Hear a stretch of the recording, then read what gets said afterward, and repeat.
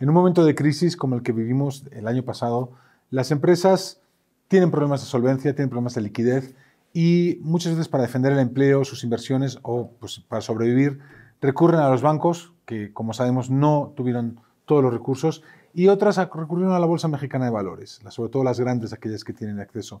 Y quisimos entender un poquito cuál ha sido el rol de la Bolsa Mexicana de Valores en 2020 y pues qué planes tiene para este 2021. Para ello invitamos a hablar con nosotros a Marcos Martínez Cavica, él es el presidente de la Banca, eh, Bolsa Mexicana de Valores. Y lo primero que le preguntamos es, eh, Marcos, eh, ¿cuál es el balance de este año de un mecanismo tan importante para algunas empresas grandes para mantener su viabilidad económica en un año de crisis? Hola Alberto, pues qué gusto estar con ustedes, empezando por eso, y qué bueno que se vean también. y dicho eso, pues, dado el año que, que hemos pasado, la verdad es que el balance lo podemos leer como positivo desde el punto de vista de la actividad de la Bolsa Mexicana de Valores. Y, lo digo dadas las circunstancias porque pues no ha sido fáciles para nadie y, sin embargo la bolsa ha salido en, un escenario eh, bastante razonable como te voy a dar alguna información en este momento. Mira, lo primero que te diría es el índice. El índice que, que tuvo una caída muy fuerte, que bajó en, el peor momento hasta los 32.500 eh, puntos. Una, fue una bajada considerable este, en los tres primeros meses. Cerró en 43.540. Esto es el mismo nivel que tenía cuando empezó el año. Entonces, el índice acabó empatando, o hasta el momento se muestra en un nivel cero, que evidentemente es este, pues es, un buen desempeño dadas las, cosas que sucedieron. Ahora, hubo, hubo mucha actividad para lo poco que ha habido eh, de actividad en la economía. Te voy a dar algunos datos y los tengo aquí para no este, andarte inventando.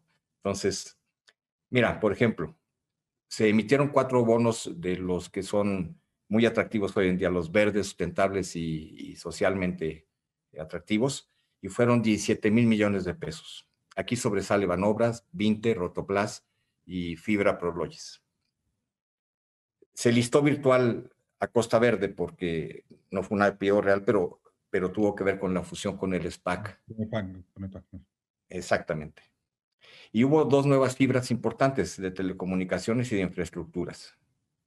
Dentro del proceso general de digitalización, eh, que vivió el mundo en estos años, una de las tendencias importantes es que eh, pues los inversionistas institucionales siguen ahí presentes en las bolsas, pero los individuales a través de las plataformas eh, tecnológicas están accediendo y están comprando. México, que nunca tuvo muchas cuentas de clientes de la bolsa, o ahora mismo están creciendo los individuales que desde su casa operan acciones.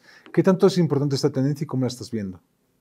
Mira, es, es una buena noticia para el mercado mexicano porque como bien mencionas, es un mercado que ha estado eh, pues muy estático durante mucho tiempo, no solo en el número de emisoras, sino en el número de participantes en el mercado.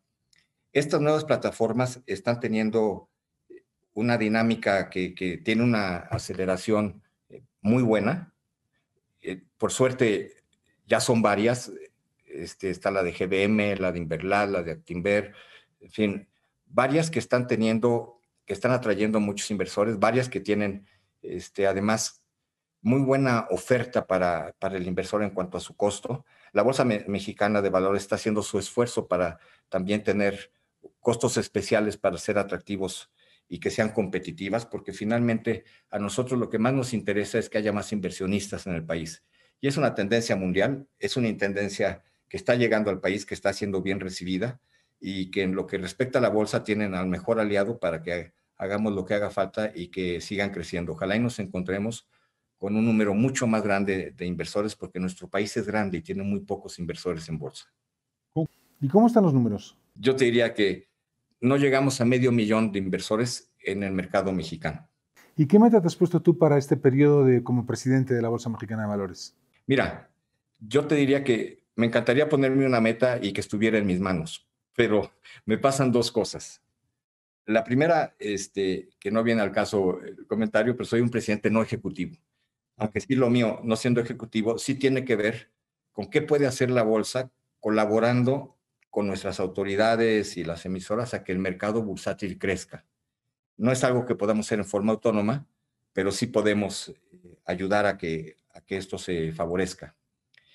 Y lo segundo es cómo colaboro con nuestro, junto con nuestro Consejo de Administración para que la bolsa genere cada vez más productos, más alternativas, sea más institucional en términos de, de más producto, ¿no? Es institucional en su manejo interno, que también tengo que ver con eso, como hablamos hace rato, pero, pero ¿cómo le damos un mayor contexto a que se enriquezca el mercado de oferta? Y eso sí está en nuestras manos. Lo otro, desgraciadamente, ojalá y pudiéramos, pero pues no. Una de las tendencias más importantes de la bolsa es, que, eh, al parecer, el año pasado el, el, mercado global, digamos, las empresas internacionales eh, tuvieron más volumen de operación que las nacionales, ¿no? Sí, y esta ha sido una muy buena, el SIC ha sido yo creo que una de las mejores ofertas eh, nuevas que ha traído la Bolsa Mexicana a nuestro mercado. Ya hay más de 2.500 este, emisoras que allí se cotizan, emisoras o ETFs, este, lo, que sea, pero opciones de inversión. Y no cabe duda que eso para el inversor mexicano es algo buenísimo porque tiene acceso y además con beneficios fiscales a lo que él quiera, a las opciones internacionales más atractivas. Opciones como esas son las que la bolsa debe seguir generando para que este, haga bien su trabajo, para estar cumpliendo con la sociedad. Dentro de tu rol como presidente de la bolsa está el buscar alianzas, buscar eh, pues, cuáles son las mejores opciones para los inversionistas en la bolsa. ¿Qué, eh, tanto estás contemplando consolidación con otros mercados o alianzas adicionales? ¿Qué estás pensando? Mira, yo veo al, grupo eh, accionariado, accionarial principal, lo veo muy abierto a buscar el mejor camino para que la bolsa siga siendo un buen negocio, un negocio rentable y un negocio que sea líder y no que se vaya quedando atrás. Un negocio que no se quede paralizado por, por, pues, por, no, hacer, por, por no estar pensando en ello. Fuera de eso, hay total apertura. Yo lo, parte de mi trabajo, como bien lo mencionas, es una de, de los que sí son mis responsabilidades, es llevarles propuestas estratégicas que vayan en toda la gama. Desde quedarnos como estamos, ver desinversión, pero sobre todo ver cómo le das valor agregado a la bolsa y al mercado mexicano. Ahí sí, indirectamente, cómo le das eh, posibilidades de que el mercado bursátil mejore en nuestro país.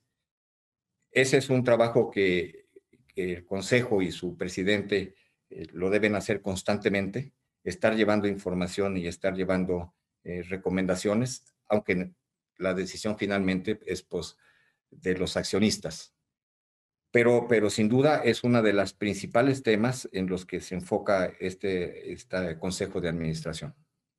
y, no ausente del director general, que también forma parte de ello y, y es también parte, no, no, solo opera, también está pensando en estas cosas y viéndolas junto conmigo. Em, dentro de esto, ¿qué va a pasar con la participación de la mujer en los consejos de administración de la Bolsa Mexicana de Valores? Eh, sabemos que en México, pues al menos el 6% de las mujeres eh, de los 6% de los consejeros son mujeres a nivel nacional en todas las empresas. ¿Qué tanto eso eh, pues lo van a cambiar? ¿Qué van a hacer? Afortunadamente en el caso de la bolsa este, ya tenemos dos. Tenemos a Blanca Treviño y, tenemos a, Tania este, de Genova. Eh, también, otra vez, no son modas, son tendencias. Estamos por arriba del mínimo que se pensaban no le quiero poner un porcentaje, pero sí sé que, que debemos de tener una mejor mezcla entre las capacidades eh, personales, profesionales, intelectuales y, los demás requisitos que se necesitan como de género.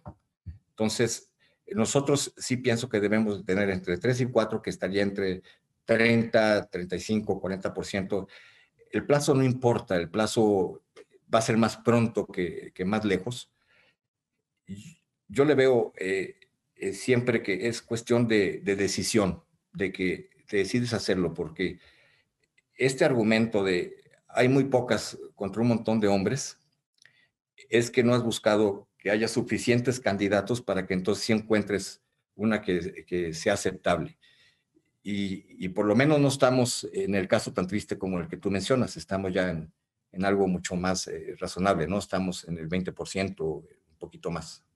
Uno de los grandes retos de la Bolsa Mexicana de Valores histórico ha sido que la empresa familiar mexicana pues coloca una participación muy pequeñita y luego no hay liquidez de la acción, eh, no quieren eh, ceder el control. ¿Cómo estás viendo este problema a largo plazo?